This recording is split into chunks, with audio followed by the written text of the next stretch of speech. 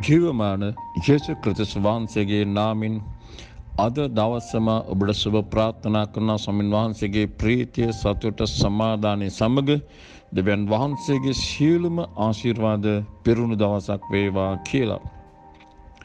ප්‍රමාන්ත්‍ර පුන්වහන්සේගේ වචන දෙස අපේ බලමු ගීතාවලි 144 පළවෙනි පද දෙක. යුදයට මාගේ අද්ද සටනට මාගේ ඇඟිලි පුරුදු කරවන්නා වූ මාගේ පර්වතය ස්වමින්ට ප්‍රශංසා වේවා. උන්වහන්සේ මට කරුණ කරුණ නිධානයය මාගේ බලකොටුවය.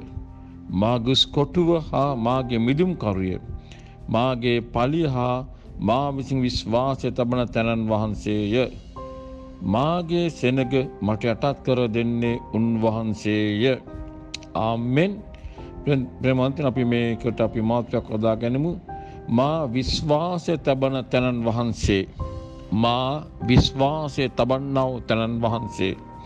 බලමු ඒ මාතෘකාටතේ ඔවු දාවිත් කිය නමා විශ්වාස කරන තැනන් වහන්සේ මෙන්න මේ වගේ මෙබොදු කෙනෙක්.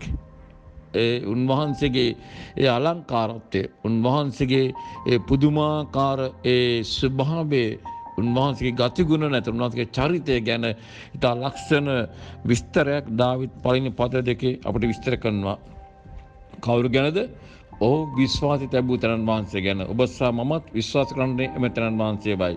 දාවිත් කියන යුදයට මාගේ අද්ද සටන මගේ ඇඟිලි පුරුදු කරන්නව. ආ යුද්ධයක් තිබෙන විට යුද්ධයට මගේ අතසා මගේ ඇඟිලි පුරුදු කරවන නැත හසුරන තැනන් වහන්සේ. දැව විශ්වාස කරන්නේ කවුද? යුද්ධයට මගේ අත්සා මගේ ඇඟිලි හසුරුවන නැත්තං ඒවා කොයිවිදිට හසුරුවන්නේ කියලා පුරුදු කරන්න ඕතනන් වහන්සේ. ඉති මේක ඉතා මාවරු දෙයක්.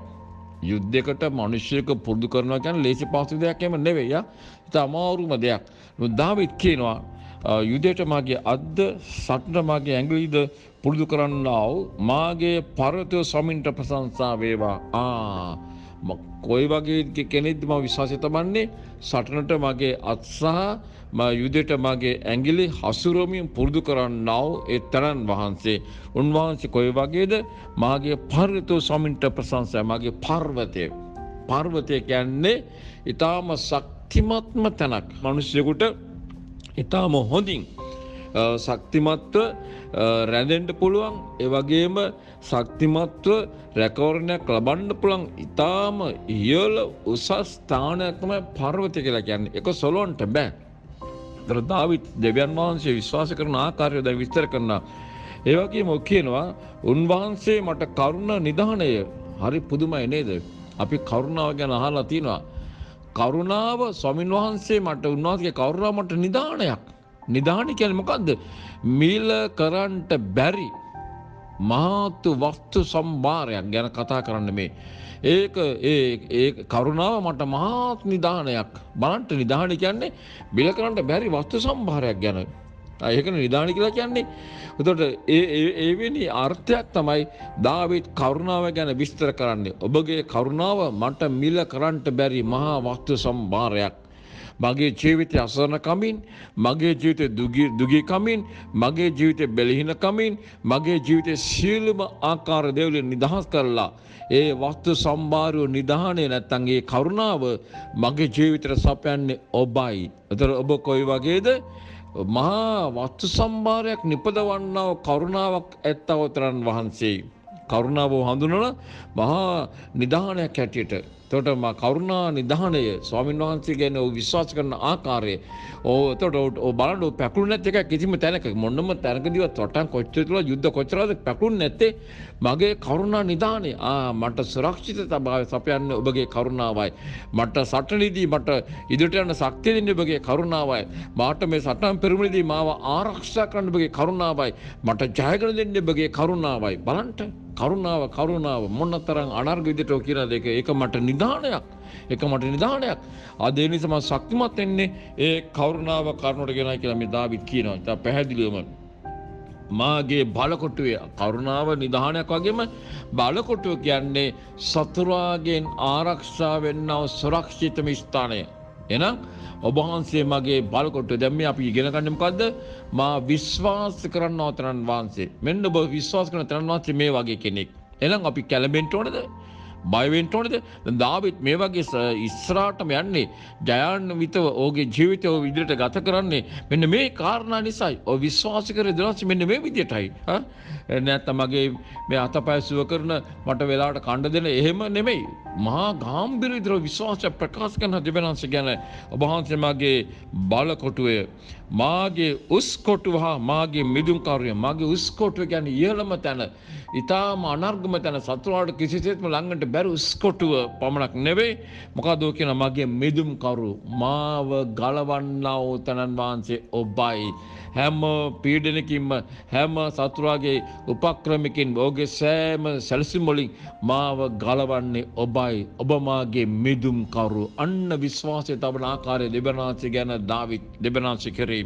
ඉට පසෝ කියනවා මාගේ පලිහා මා විසි විශ්වාස තමන තරන් වහන්සේ මගේ පලිය. ඒක සතුරා හෙල්ලේ විදිනකොට මාව ආරක්ෂරන පලිය ඔබයි. සතුරාගේ මොන හෙල්ලක්කාවත් ඒ හෙල්ලේ මට වදින් නැතුව මවාරස්සරන පලිය ඔබ්බයි ඒ වගේම කියලා මාබතින් විශ්වාසය තමන තරන් වහන්සේ ඔබ්බයි මෙන්න මේ විතරම ඔබ විශ්වාස කරන්නේ බලන්ට ඕ දාවිත් දෙබන් වහන්සේගේ විශ්වාසය තමන්න ආකාරය වර්ණා කරන්න ආකාරය දෙවරංශ කරේ විශ්වාතබන ආකාරය විස්තර කරන වර්ණා කරන ආකාරය. ඔබත් එහෙමද දෙවන විශ්වාස කරන්නේ. ඒකම කියන මගේ සෙනග මට යටත් කර දෙන්නේ උන් වහන්සේය.